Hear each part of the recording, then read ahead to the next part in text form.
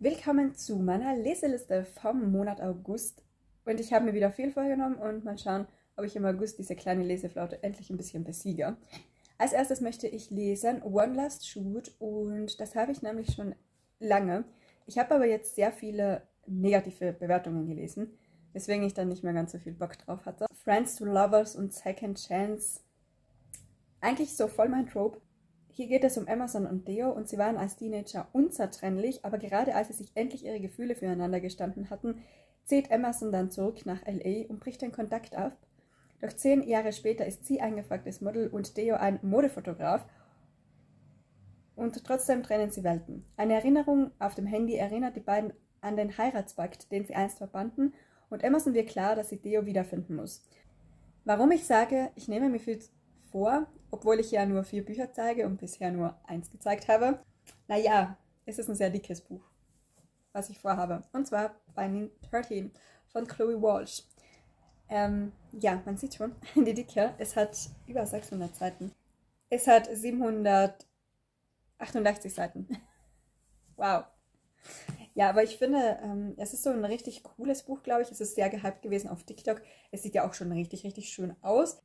Hier geht es um Johnny Kavanagh und er hat alles. Auf dem Rugbyfield ist er an der Macht, auch wenn er von einer Verletzung geplagt wird, die er ständig ignoriert. Alle wissen, dass er auf dem Weg an die Spitze ist, aber das bedeutet, er darf sich keine Fehler und keine Ablenkung erlauben und nicht einmal das schüchterne Mädchen an dem College mit den traurigen Augen und den blauen Flecken, die sie zu verstecken versucht, darf ihn eigentlich ablenken, denn er muss sich konzentrieren. Ich bin ja gespannt, ob da sich die ganzen Seiten lohnen. Weil so ein dickes Romance-Buch ist echt nicht normal, oder? Dann möchte ich endlich mal wieder einen Justizkrimi lesen. Und zwar von Schwicker und Zockers, Der 13. Mann. Ein Buch, was schon lange auf meinem Sub liegt und der zweite Band dieser Reihe ist. Und ich muss sagen, ich liebe Justizkrimis. Hier geht es wieder um Rocco Eberhardt und in seine Anwaltskanzlei kommt Dimo Krampe.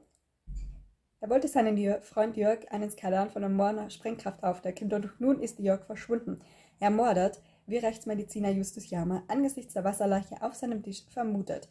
Und auch Dimos Leben scheint in Gefahr, denn seine Enthüllung ist wahrlich brisant. Im Rahmen eines Experiments hatten Berliner Jugendämter noch bis 2003 Pflegekinder bewusst an pädophile Männer vermittelt, auch Dimo und Jörg.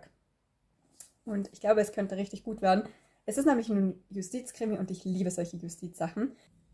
Dann habe ich vor, vor uns das Rauschen des Meeres zu lesen. Davon habe ich schon sehr, sehr viel Gutes gehört und es sieht auch noch wunderschön aus als Cover. Früher war Sophie jeden Sommer auf Sylt, bis zu dem Tag, an dem ihr Vater wegen angeblich illegaler Geschäfte verhaftet wurde und aus ihrem Leben verschwand. Noch heute quälen Sophie die Fragen, was damals wirklich geschah. Als ihr Vater dann stirbt und sie das Ferienhaus erbt, beschließt sie zurückzukehren und die Wahrheit ans Licht zu bringen. Nur hat sie nicht mit Maximilian Rose gerechnet, dem Sohn eines reichen Hotelketteneigentümers. Als Mittel zum Zweck könnte er ihr bei ihrer Wahrheitssuche extrem helfen. Doch je näher sie sich beide kommen, desto schwieriger wird es für Sophie, den Plan umzusetzen, weil sie sich natürlich in, doch in ihn verliebt. Ich hoffe, meine Leseflaute fliegt weg, weil es wäre so schön, im Sommer einfach draußen zu lesen mit einem Buch oder einem E-Book.